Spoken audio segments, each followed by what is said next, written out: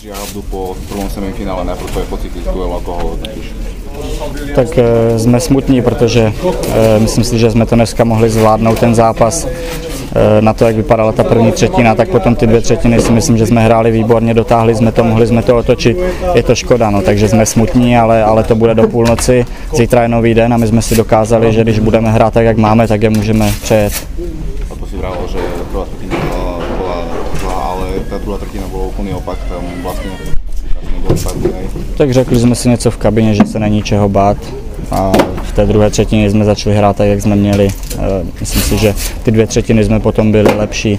Je to škoda, no, takhle jsme to dotáhli a nakonec to nevyšlo, ale ukázali jsme Bystrici, že máme velkou sílu a že se mají čeho bát a, a zítra si pro ten bod půjdeme my.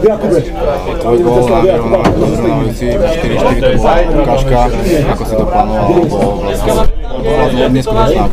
Tak e, dostal jsem tam puk do rychlosti na mantinel, takže jsem věřil, že toho hráče tam objedu a, a potom vlastně tam proti mě byl jeden hráč už jenom, tak jsem si věřil, že ještě na něho udělám tu kličku a,